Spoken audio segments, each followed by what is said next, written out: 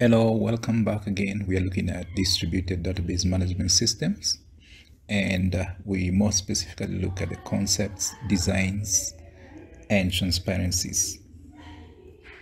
So the first thing we're going to uh, discuss is the distributed uh, database, the nature of a database being distributed. The idea is that this particular database is shared across a computer network.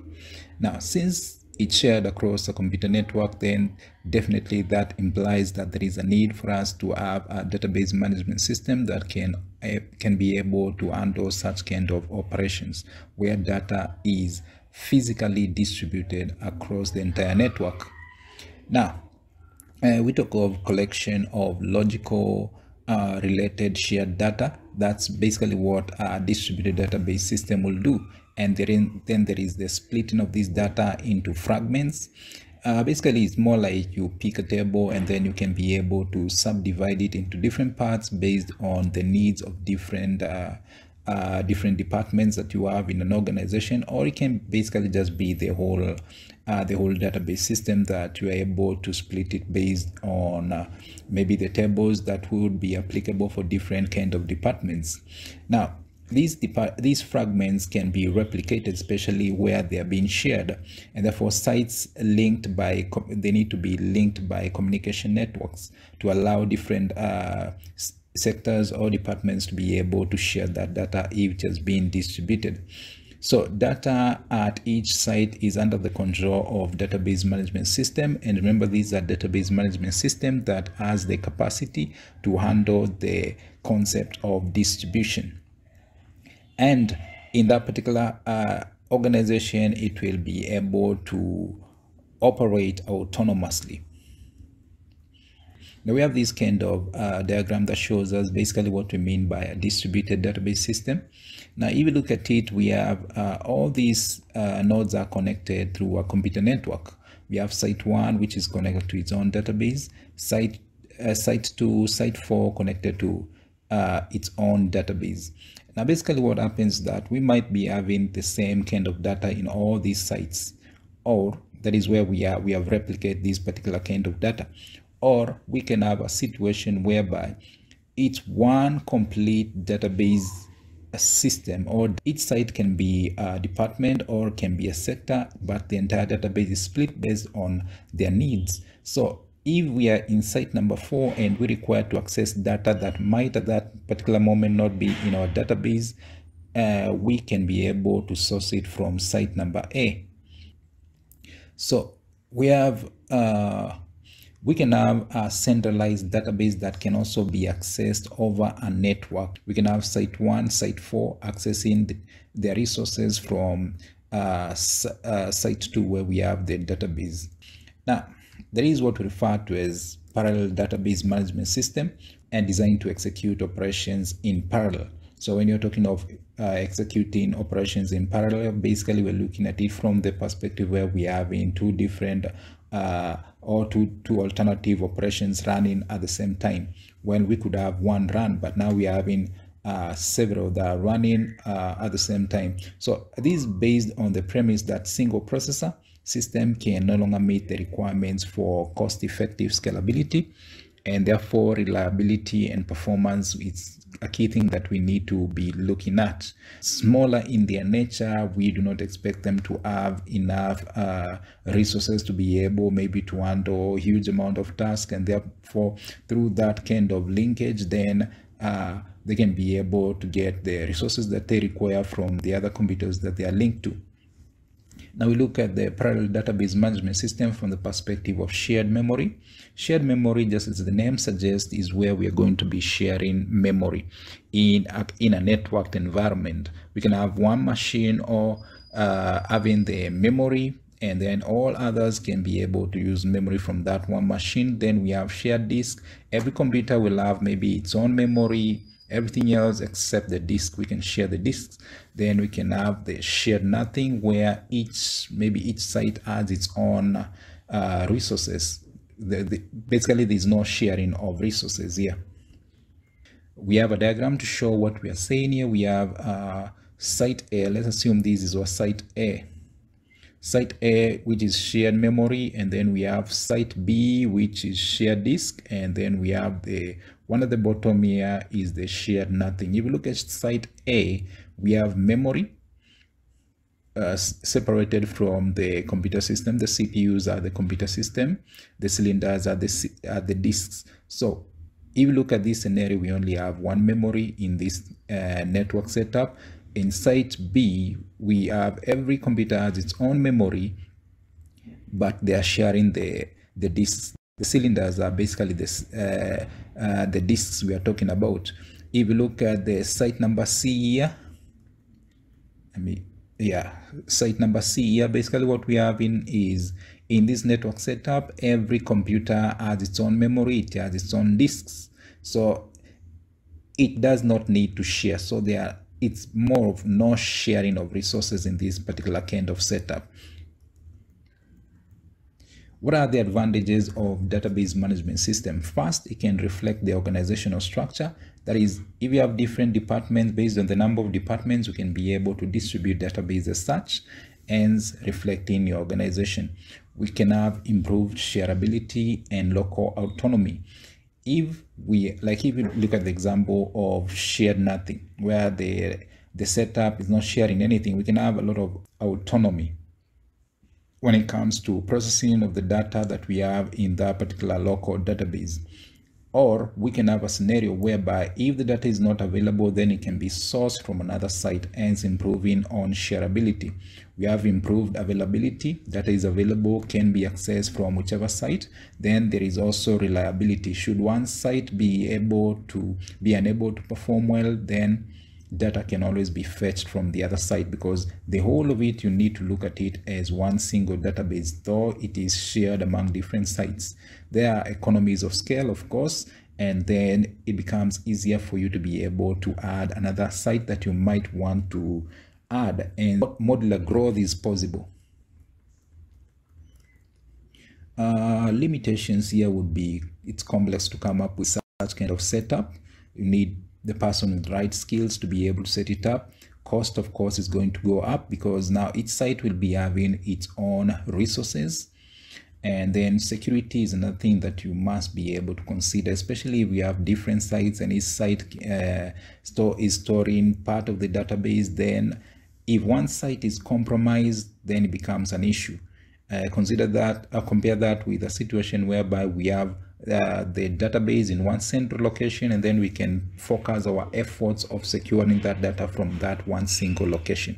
So uh, integrity control is also more difficult because now you have uh, users from different sites who now might be having uh, different access control rights and all that. So managing all that can be uh, a problem. There could be also lack of standards, especially when uh, even the hardwares, the the softwares that you're using are of different. Uh, uh, they are of from different vendors and all that all the procedures that you are running different departments are completely i mean different sites are completely different then there would be lack of uh, standards and also lack of the experience it's not enough experience has been there. It's uh, it's an environment that keeps on improving. Database designs are also more complex as we've said from the beginning of that first point when we talked of uh, complexity. The database must be designed with that in mind. Setting up the, the whole uh, distributed uh, database management system it's a complex uh, kind of setup now we have different types of distributed database management system. We have heterogeneous and then we have uh, homogeneous. When you're talking of homogeneous is basically uh, probably uh, it's a setup where we are probably using the same vendors uh, tools or softwares if you like and even the hardware. Heterogeneous is a different scenario where you could have uh, tools from different vendors and uh, multi-database uh, system, the MDBS, for you to be able to maintain uh, complete autonomy, this would mean that the database management system would first of all be transparent among the existing database and file systems and should allow users to access and share data without requiring physical database integration. That is, even the users themselves are not aware that they're using a different, they have their own local local access to a database. Now, what are the functions of a distributed database system? Since now we understand what a distributed database management system is, we need to look at it based on what kind of functions it can be able to offer. It can be able to extend communication service. Uh, if you consider two different departments and all that, we can also be able to extend our data dictionary where we have complete definition of the kind of, the kind of data that we have in that particular database. Also, distributed query processing can also be handled. Remember, query processing we saw from the beginning that it's a process that has to do from that particular uh, moment you give a query to the database up to where it is checked for its statistics to know whether it's going to cost a lot for it to be executed as it is to a point whereby a query can be optimized and then finally executed. So we can have the whole of that process uh, distributed. Then we have concurrency control is another thing that is key especially now that you you are you are in an environment where transactions are being generated and we can also be able to extend uh, the recovery services. You can, in, in fact, on a distributed database system, you can be able to recover much more easier because most of the data that we wish to recover is only is is sometimes available in another site or in another location, and therefore that makes recovery much more easier.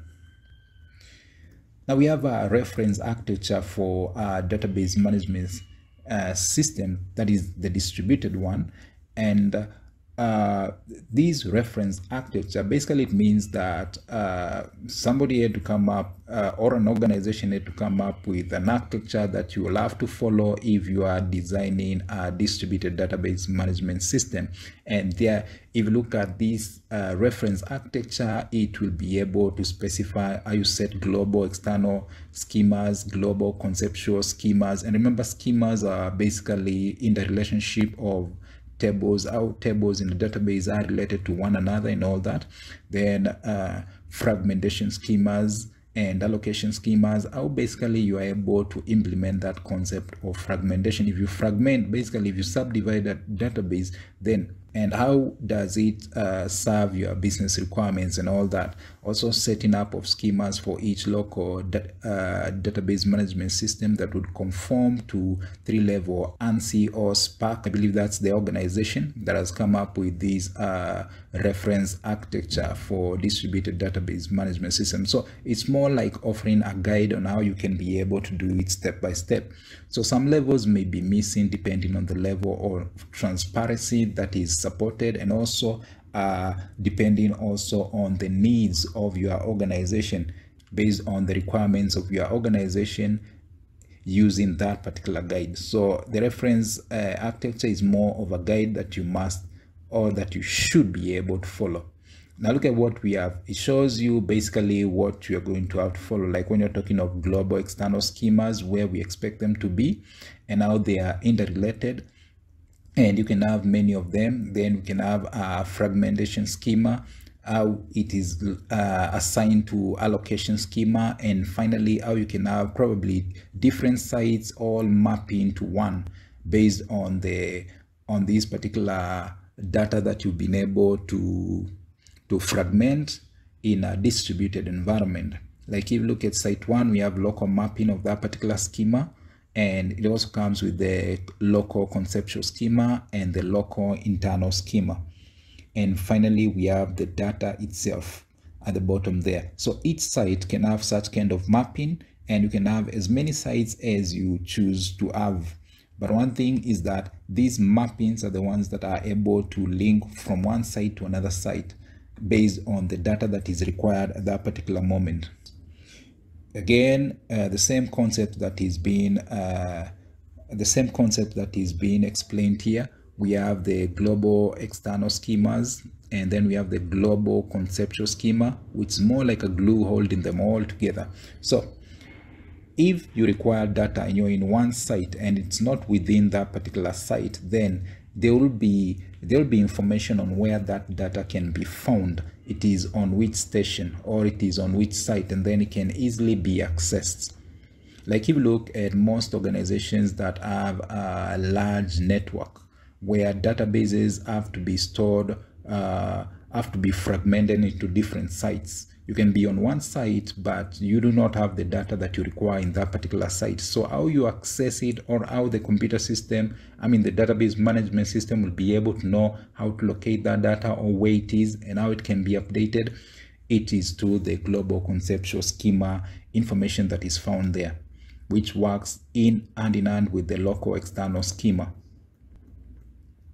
Now the distributed database uh, design under distributed database design, we look at three key issues. We have fragmentation. Relation may be divided into number of sub-relations, which are then distributed.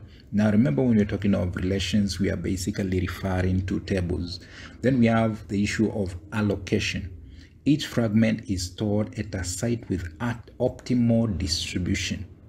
You place it in a site where it is really needed. Then we have the replication itself. Uh, to replicate is basically just make a copy of the same thing. So a copy of the fragment may be maintained at several different sites. And if it is in different sites, then it means if you have a copy of a particular fragment in site 1, and we have another copy also of the same fragment in site B. So even in site 1, you access the local copy and that makes the whole process much more faster and much more efficient and remember when updates are made to the data that are in these particular fragments remember the same uh, update must be replicated to all other fragments. Locality of reference that is you can access from that particular location improve reliability and, and availability. So you already have your own copy within that particular site so that's what you can you're you're going to always be able to access. Should it be unavailable you can always access that data from another another site. There is also improved performance because it you can access it quite quite closer.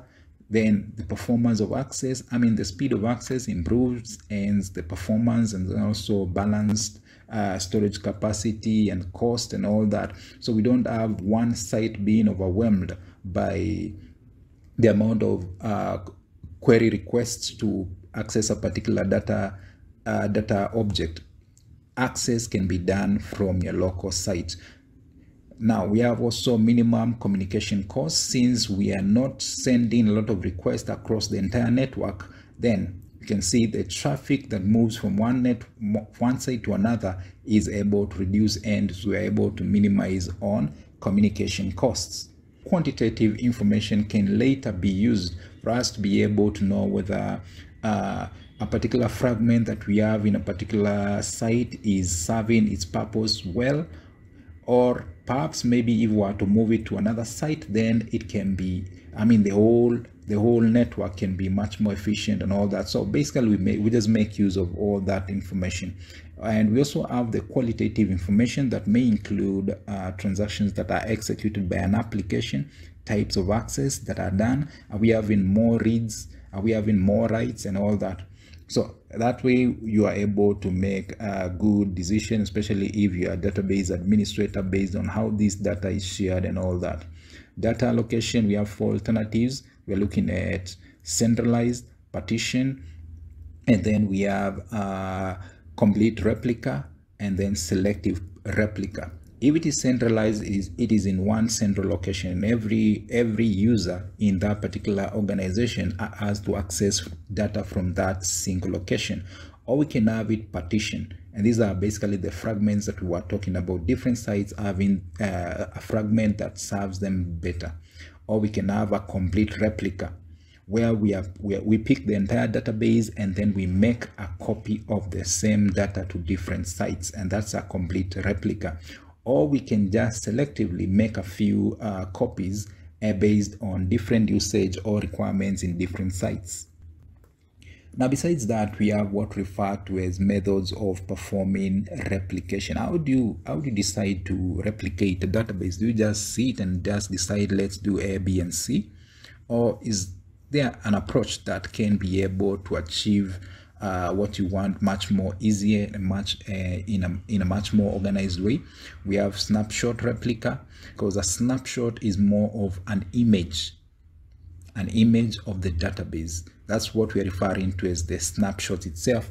Then we have marginal replication, basically you need to have proper resources you need to such as uh, storage space and all that if you are merging two different databases into one and then you need to have uh, to check on consistencies to ensure that there, there is data consistency between the the two kind of databases that you are merging.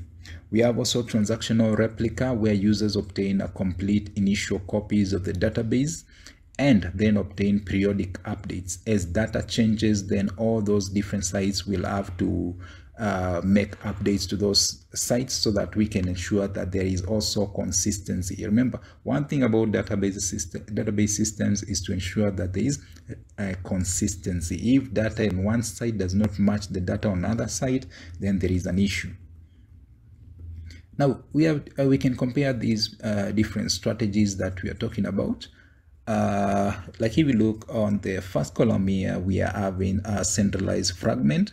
Now uh, locality of reference is lowest here on centralized fragmented is very high because if you fragment you take it closer to a site. A complete replica can be achieved through uh, through locality of reference and then we can have selective replica where again locality of reference can also be very high.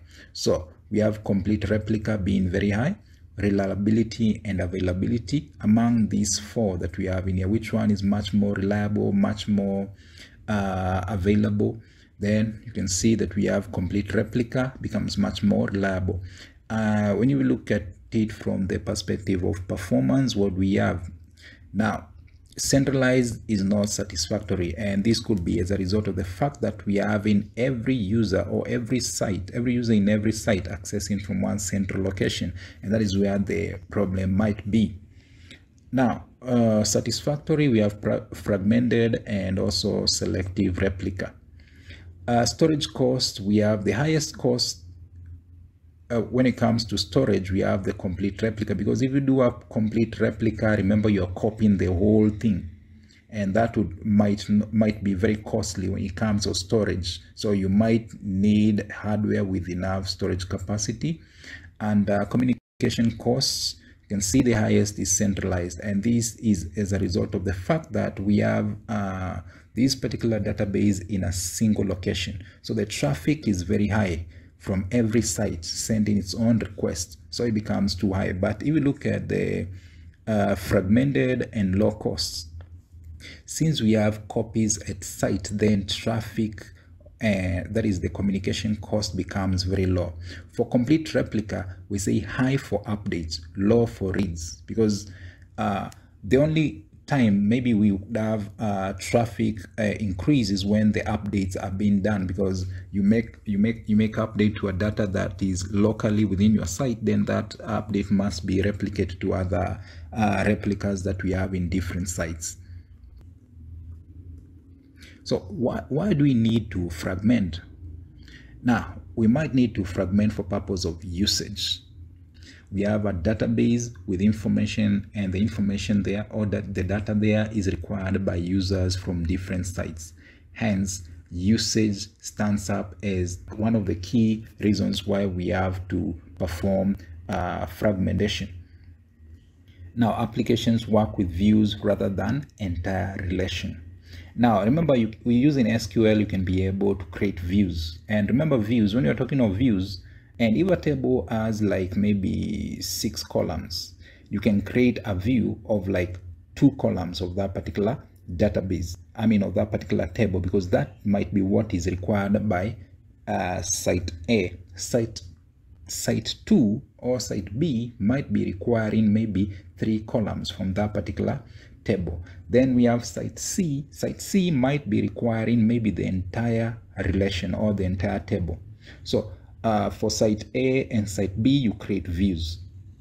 And that becomes much more easier and data can be shared much more easily. So we have efficiency is another thing. Data is stored close to where it is most frequently used. If you have a fragment that bears data on maybe maybe we have the finance department and then we have the hostel department so uh, data that concerns uh, finance, we store it closer to the finance department. The one that concerns hostel information, then we store it in near the hostel uh, department. So that's basically how you fragment and things becomes much become much more easier. I mean, accessing data becomes much more easier. Now, parallelism, we said a transaction is autonomous and must be performed to the completion, even though we are going to have to subdivide into different queries. So it becomes a transaction once it has been fully, uh, fully completed and committed. That's one thing you must also be able to remember. Uh, security, we've seen that if we store data in a central location, it's much more secure.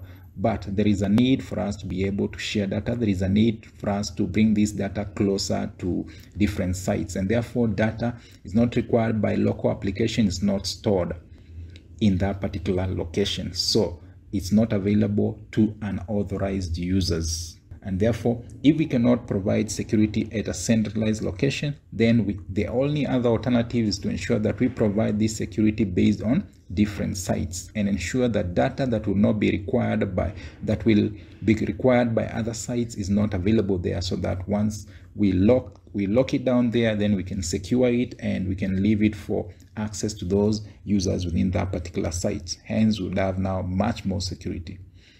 Again the disadvantages would be on performance and integrity. Remember at the beginning we said for distributed database systems, sometimes difficult for you to be able to ensure there is integrity.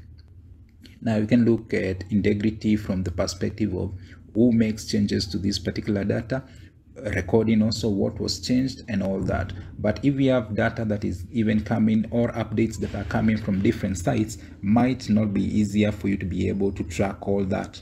And also performance uh, you just have to choose whichever method that brings proper performance in in a particular site. And we have just seen that uh, all approaches have their own uh, limitations and they have their own advantages. So when you are choosing the approach to use, then you must be able to consider what kind of performance do you want because each will have its own performance as we have seen from the table we have just previously seen. Now, correctness of fragments. We have three correctness rules. That is, we must talk about completeness, reconstruction, and disjointness.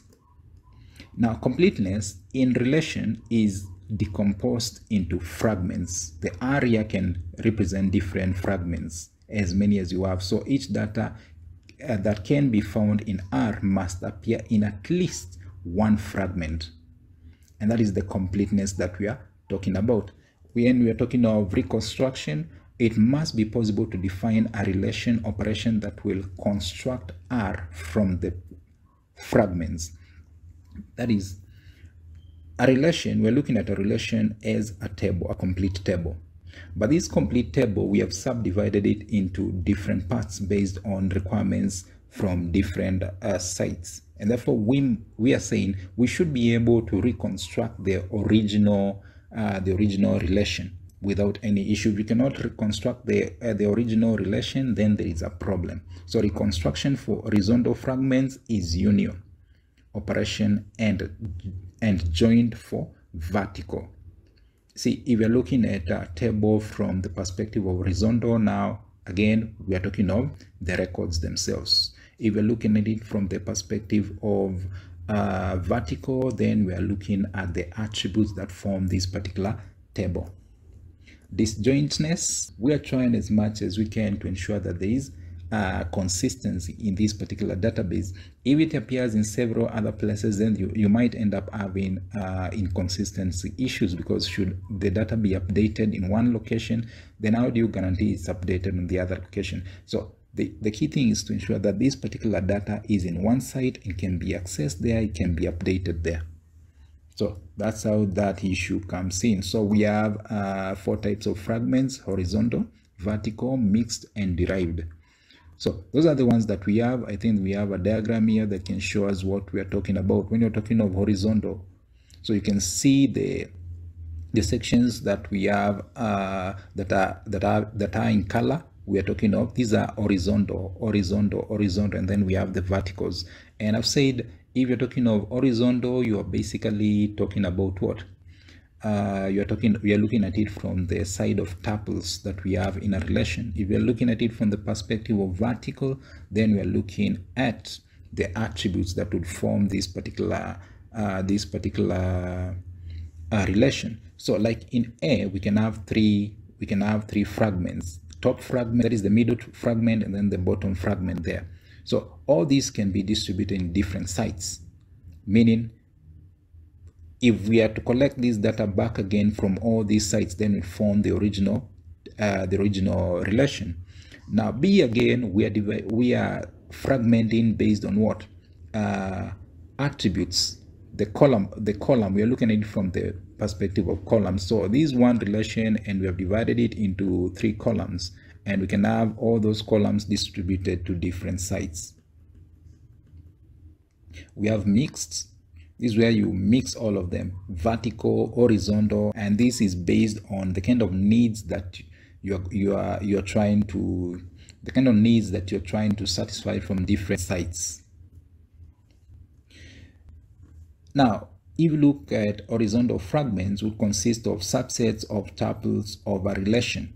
Now we use these symbols to be able to define this. This from uh, relational algebra if we look at it from the, this is the complete tuple that we are looking at now.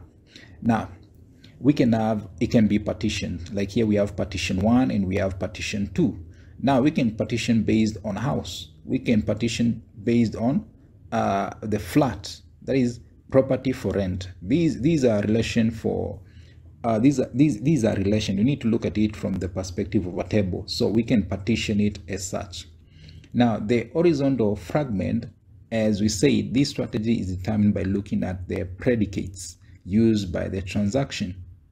See, it will involve finding the set of minimum, complete, and relevant predicates. The ones that are relevant to a particular site, you must open that relation, look at it, and see what will be able to, what, what is relevant for each and every site. So that becomes, that is that is it is important for you to consider that because that would mean that then that other application from whichever department it is it needs its own different kind of uh, different kind of data to service that particular section. Now uh, vertical remember vertical now we are looking at uh, at this data from the perspective of the attributes or the columns now so in relational algebra, this is basically the symbol that we use.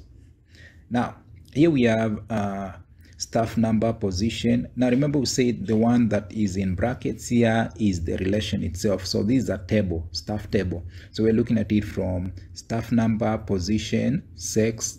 This should be the date of birth and then salary. So that is one. Again, you're looking at another uh, another view from staff number there are staff number first name last name and branch number. That is the second one. Now that means that s could be satisfying only a particular site and that's what that is all they require from this particular uh, staff table. And therefore you can create a view for that and then we can have uh, s1 could be for another of site that is only requiring staff number, position, sex, date of birth, and salary. And therefore, you create a view for that particular uh, that particular site using the staff relation. Now mixed fragment, as you can see here from the relational algebra, we are mixing them, all of them. We are looking at it from the perspective of a row. You again looking at it from the perspective of uh, the columns. And therefore, it's possible for you to be able to uh, select, uh, select what? Select attributes or select columns from a, a table and at the same time be able to specify exactly which uh, uh, uh, which data for it's for which particular records? Because you know in a that in a table we identify data based on unique identifiers such as primary key. So you can select specific you can give specific requirements. Are you looking for records with particular uh, uh, primary keys or are you looking for are you going to categorize based on example if you need uh, records that only be belong to the male students or only belong to the female students or male or female employees, whichever category that you're going to use. So we can be able to create a partition that we have picked from an original table, but we have only picked just several columns and then several records, not all of them. So that allows us to now be able to come up with the mixed fragment that we are talking about.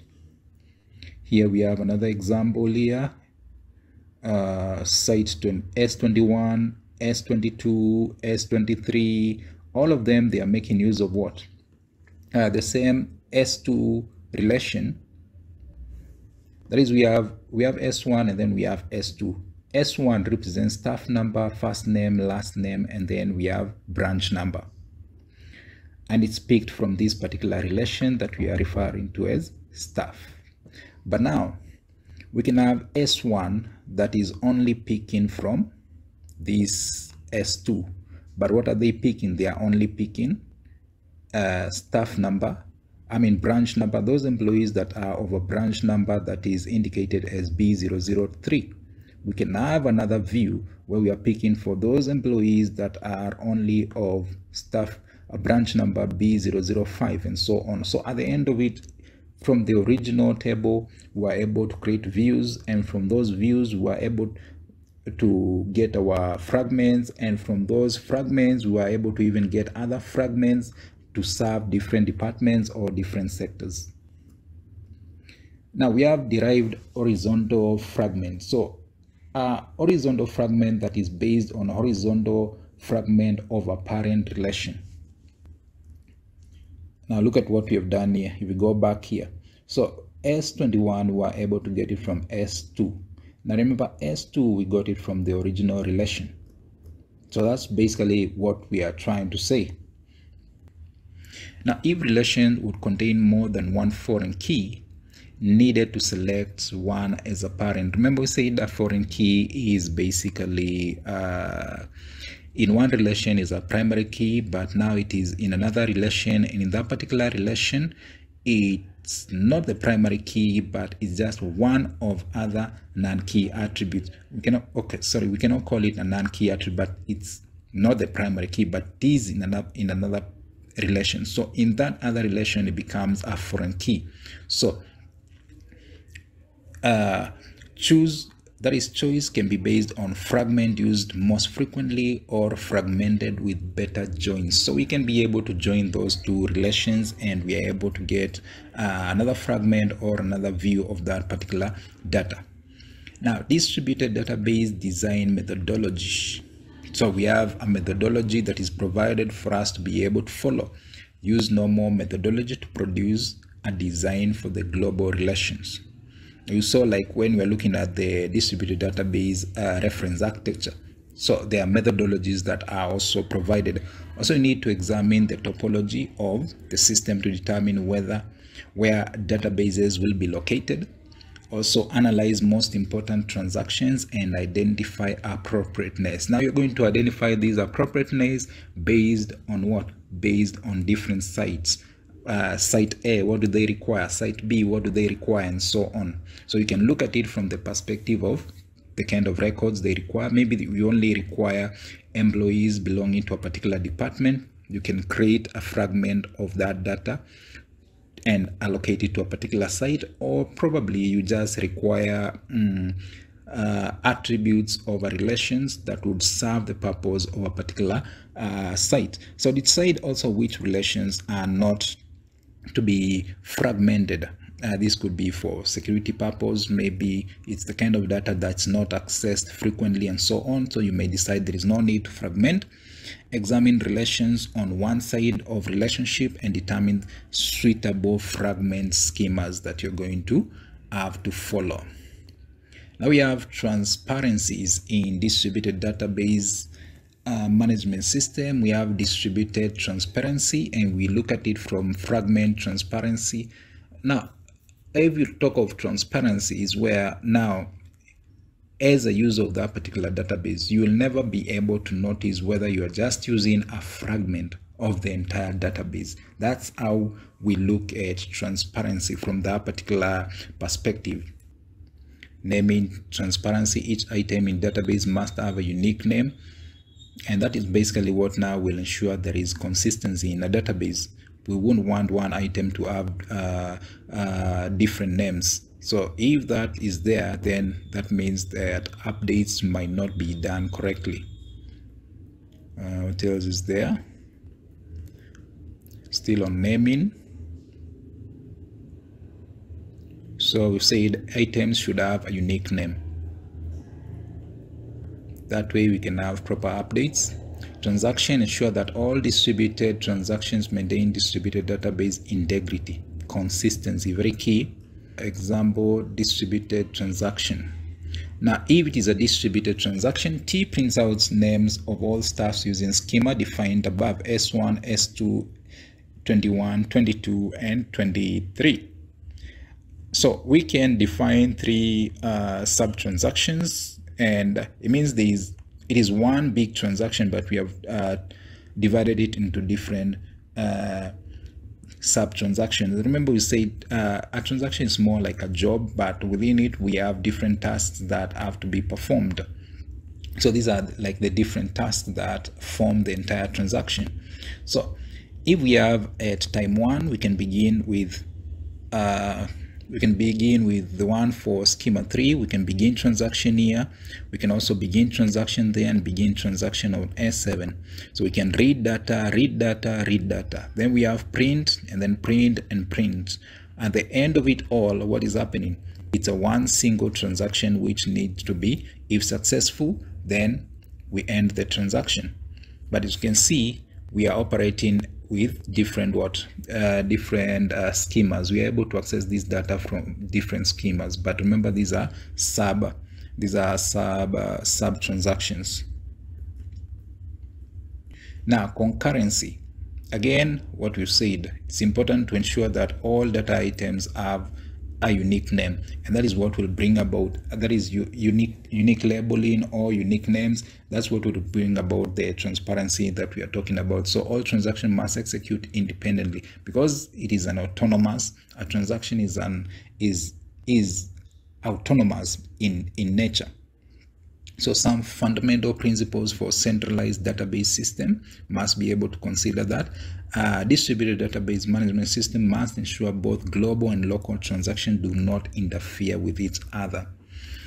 Each transaction stands on its own and does not depend on any other transaction for it to be implemented. Similarly, distributed database management system must ensure consistency of all sub transactions of global transaction and uh, the one distributed will be within the local site. Now, here we have an example given here. If you look at site A, we have SQL query where we are selecting all from staff where uh, salary greater than 20.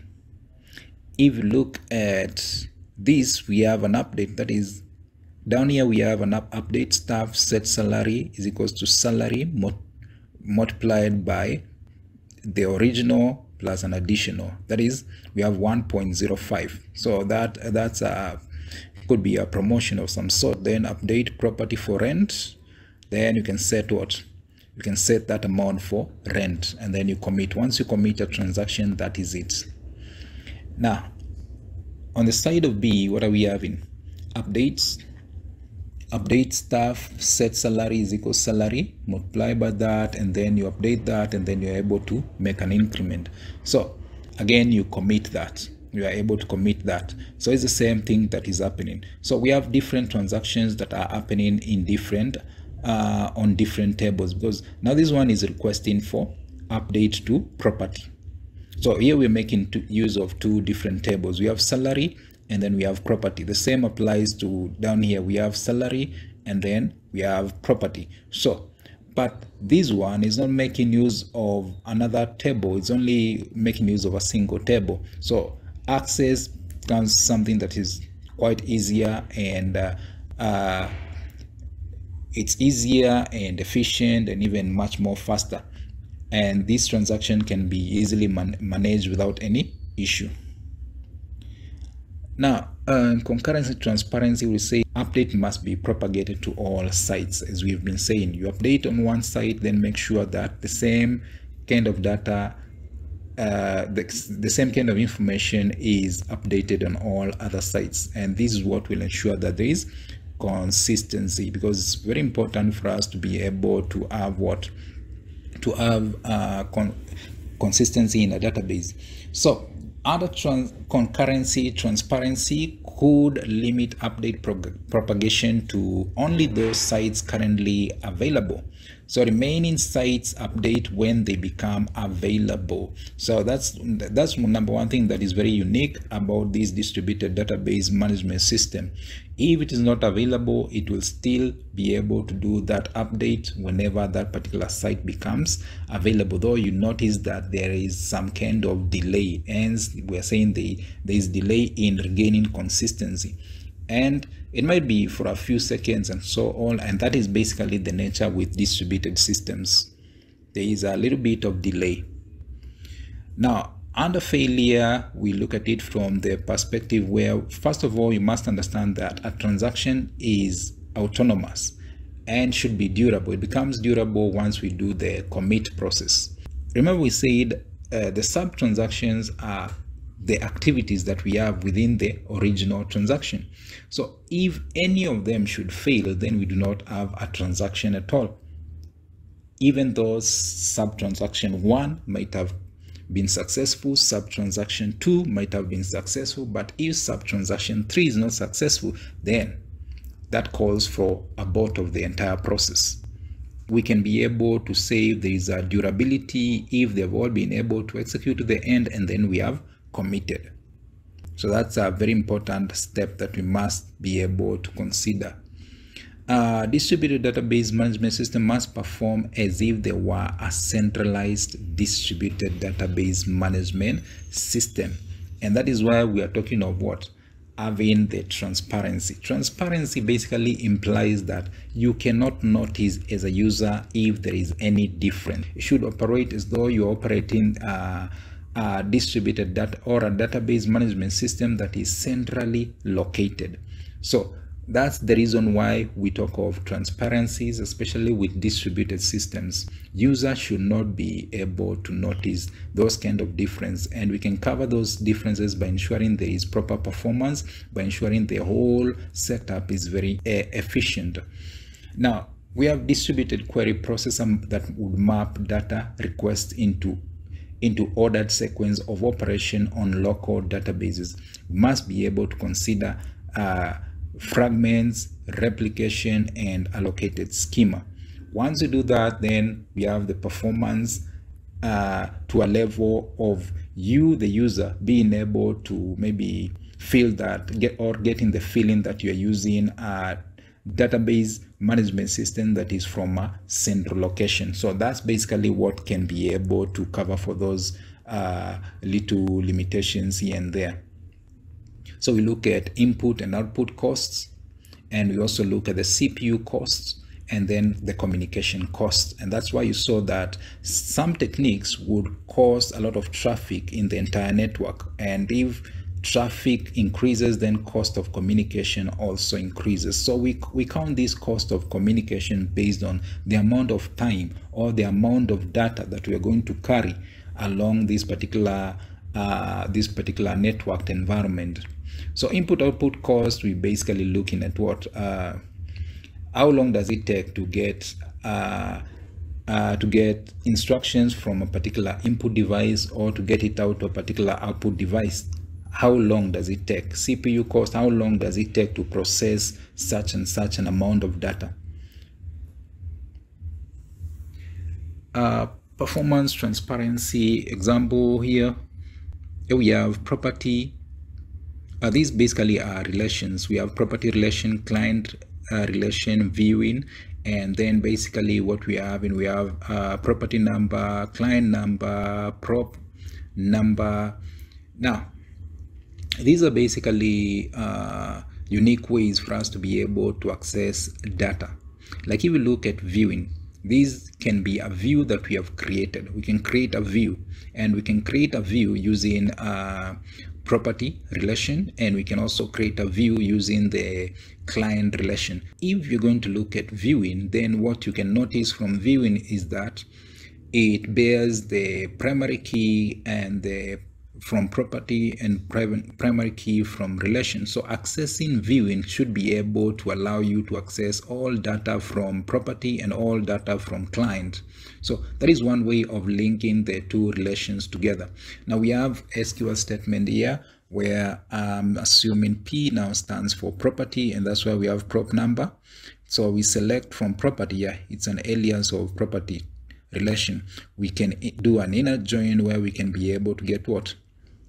Uh, uh, client C, we have we have relation client, and then inner join again, viewing V on where this basically where uh, uh, this primary key matches the primary key that we have in in client and the one that is that we have in in viewing ends v c and v. So these are alias to represent those particular table on where prop prop prop number would be equal to prop number. That is under property and also under where? Under the view. Again where? P dot city that is property and then the city. There is an attribute within that particular that property relation that's for city. So where that column for city is equals to Aberdeen and in client table where the maximum price column would have a value that is greater than 200,000. Yeah, so it's able to generate the kind of uh, data or pick the kind of data you want from all these kind of relations using such an example. So performance transparency again, having this example, we can say each tuple in each relation is 100 characters long 10 renders with maximum uh, price greater than 200,000 and then we have 100,000 viewings for property in Aberdeen and then computation time negligible compared to the communication time. So after having executed this SQL, then you can make this conclusion. So computation time is negligible, meaning that it will not cost us a lot to be able to perform such kind of transaction because now we are looking at it from the perspectives where we are these are basically different views that we've been having. Uh, i mean different fragments of the same database that we have probably in different what different sites and so on. So here again we're saying comparison of distributed uh, query uh, processing strategy. Now the strategy is in move client relation to london process and query there. So if this relation this relation that we're referring to as client was within that particular location called London then this would be the time that it would take. If we were to move property and view in relation to Glasgow site then this would be amount of time it would take for such a query. If we join property and view in relation at London and select tuple for Aberdeen properties and for each of these in turn we can check at Glasgow to determine if associated whether we have a maximum price of 200,000 and that will take 2.3 days to be able to complete that. So you can basically you're getting an idea of what I'm saying based on these uh, having different uh, different fragments uh, strategically stored at particular sites. So you have to be able to consider that. You have to be able to consider the need of a particular site before you can decide, uh, let me have this fragment here and there, here and there. So fragments are based on the need of a particular site. Before you can uh, decide to come up with a fragment, always make sure first you've understood the need of that particular sites So having said that, I think this marks the end of this class. So see you next time.